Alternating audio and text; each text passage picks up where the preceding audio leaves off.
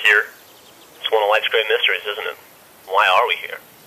I mean, are we the product of some cosmic coincidence, or is there really a God watching everything? You know, with a plan for us and stuff. I don't know, man, but it keeps me up at night. What? I mean, why are we out here in this canyon? Oh, uh, yeah. What's all this stuff about God? Uh, hmm? nothing. You want to talk about it? No. You sure? Yeah. Seriously though, why are we out here? As far as I can tell, it's just a box canyon in the middle of nowhere, no way in or out. Mm-hmm. The only reason that we set up a red base here is because they have a blue base over there. And the only reason they have a blue base over there is because we have a red base here. Yeah, that's because we're fighting each other.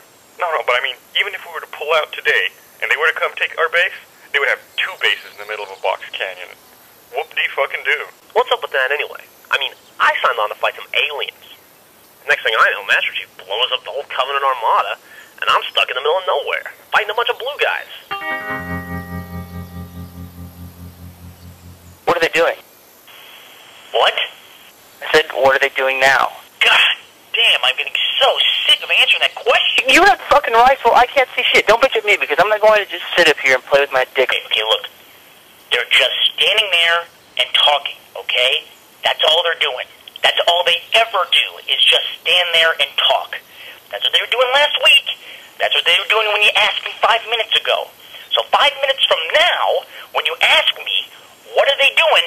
My answer is going to be, they're still just talking, and they're still just standing there. What are they talking about? You know what? I fucking hate you. Talk about a waste of resources. I mean, we should be out there finding new and intelligent forms of life. You know, fight them. Yeah, no shit. That's why they should put us in charge. Hey!